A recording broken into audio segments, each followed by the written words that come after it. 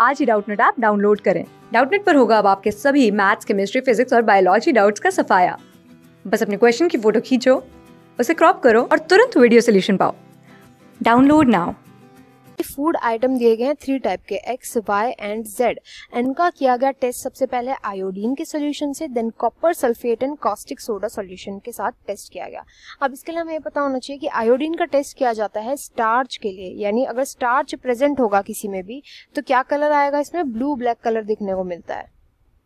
Iodine के test से। तो स्टार्च के लिए टेस्ट किया जाता है स्टार्च की प्रेजेंस के लिए। Where as copper sulphate caustic soda का यहाँ पे प्रोटीन्स के लिए किया जाता है टेस्ट तो अगर प्रोटीन्स में वायलेट कलर देखने को मिला, इस टेस्ट के बाद अगर हमें वायलेट कलर देखने को मिला, इसका मतलब उसमें प्रोटीन्स प्रेजेंट है। सबसे पहले हमने एक्स मटेरियल को लिया, उस, और जब उसका आयोडीन टेस्ट किया तो वो ब्लू ब्लैक हो गया। ब्लू ब्लैक का मतलब उसमें स्टार्च प्रेजेंट है मतलब ये एक्स हो गया कार्बोहाइड्रेट ये है कोई carbohydrate type of carbohydrate next है कि हमने वाई को चेंज इसमें ट्रीट किया आयोडीन से तो कुछ नहीं हुआ बट इधर वायलेट कलर आ गया। तो वायलेट आ गया, इसका मतलब क्या है कि ये प्रोटीन है एक टाइप ऑफ़ वाई जो है वो एक टाइप ऑफ़ प्रोटीन है।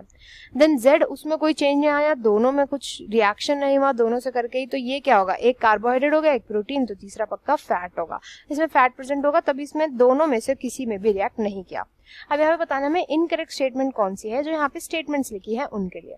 फ़र्स्ट बोल रहा है कि Y that is protein protein जो होते हैं, वो यूज़ करे जाते हैं हीमोग्लोबिन की फॉर्मेशन के लिए, जो ऑक्सीजन को कैरी करते हैं विच इज़ करेक्ट हमारे ब्लड में, हमारे ब्लड में ऑक्सीजन को कैरी करना होता है।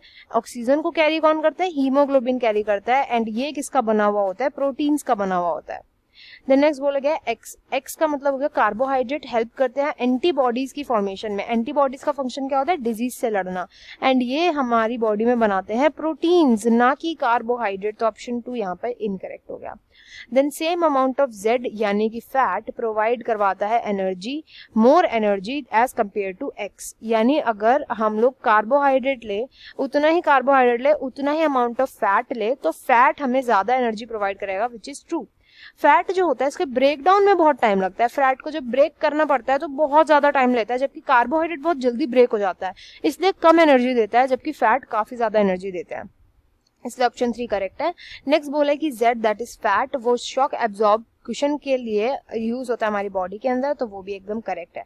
ये हमारी बॉडी के ऑर्गन्स को बता, बचाता है, हमारी जो स्किन की, अंडर की लेयर होती है अंडर स्किन में प्रेजेंट होता है फैट अब इसका राइट आंसर हो जाएगा option two incorrect option class six से ट्वेल्थ से लेके NEET I I T JEE Mains और एडवांस के लेवल तक, दस मिलियन से ज़्यादा स्टूडेंट्स का भरोसा.